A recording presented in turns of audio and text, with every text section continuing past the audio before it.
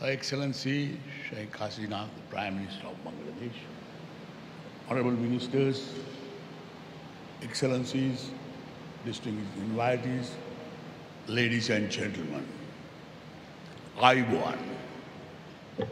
I am delighted to be present here today in Dhaka to participate in an occasion of historic significance for the people of Bangladesh. Therefore, let me thank Her Excellency Prime Minister Sheikh Hasina for cordial invitation to me and my delegation and the warm welcome given on my arrival. Despite many challenges posed by the COVID-19 pandemic, I join you in person today with the message of solidarity from the people of Sri Lanka. The friendly relations between our two countries have a long history. Many scholars believe that the first migrant from Bengal arrived in Sri Lanka through maritime routes as far back as 2005, more than 2,500 years ago. It is also believed that Sri Lanka and Bangladesh had vibrant trade exchanges since 6th century BC. Quite naturally, Sri Lanka was one of the first countries to establish diplomatic relations with the new nation of the People's Republic of Bangladesh in 1971. The people of Bangladesh are celebrating two historic events. One is the birth of the father of their nation, Bangabandhu Sheikh Mujibur Rahman, a century ago. And the second is the birth of Bangladesh, a half century ago. Both events are worthy of celebration.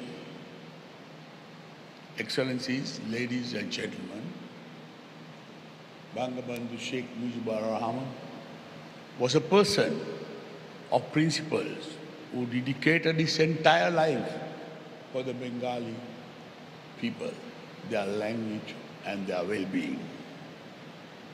He was determined to continue his freedom struggle until the creation of a new nation of Bangladesh in 1971. Unfortunately, he could not live to realize the dreams he nurtured for his beloved country. Your Excellency, I understand the agony of the immense loss that occurred on the 15th of August 1975.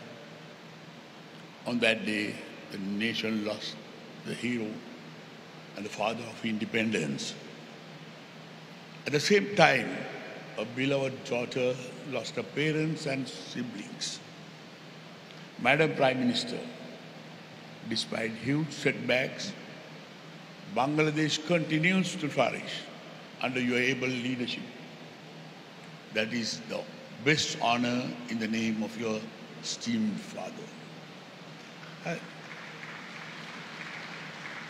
As a tribute to his legacy and in dedication to Bangabandhu Sheikh Mujibur Rahman, let me quote a part of a poem written by a Bengali Guru Rabindranath Tagore.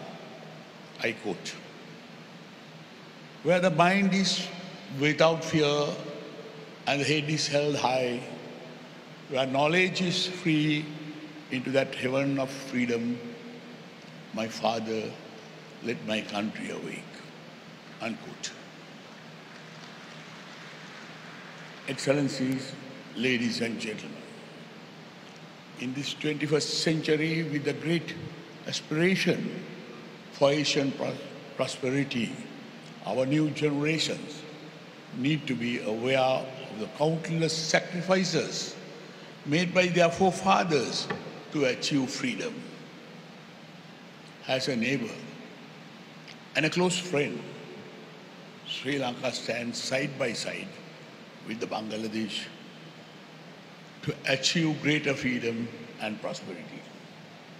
Our objective of economic transformation, eradication of poverty, and achieving the sustainable development goals remain three priorities in the middle of a great challenge. Bangabandhu Sheikh Mujibur Rahman said, Bangladesh is fertile and endowed with plenty.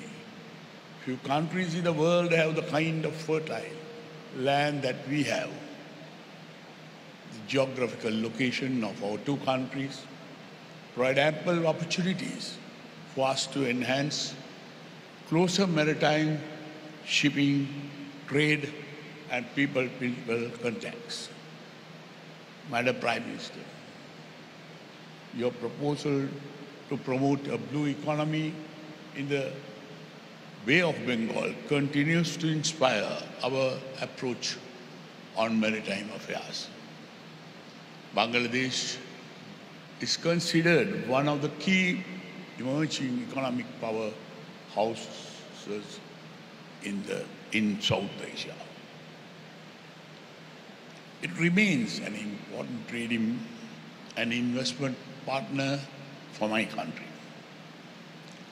Our exchanges have continued to grow rapidly during the last few decades. The great strides Bangladesh has made in the field of agriculture attract great attention in Sri Lanka.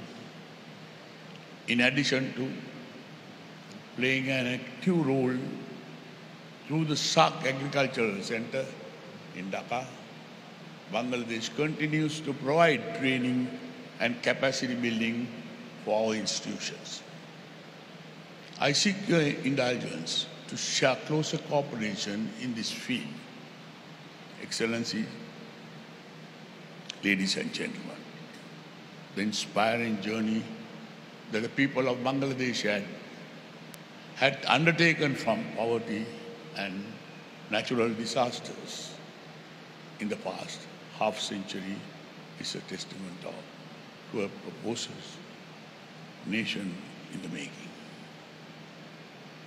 It is in this backdrop I take this opportunity to extend my heartfelt compliments and sincere and warm wishes to you, Madam Prime Minister, your government and the people of Bangladesh. Don Thank you.